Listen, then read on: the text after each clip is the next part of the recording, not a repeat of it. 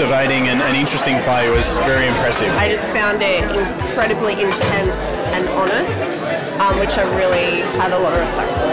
Wonderful, absolutely.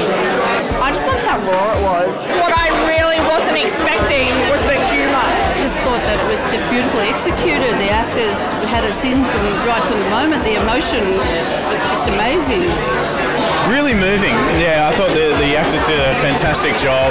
I found it compelling.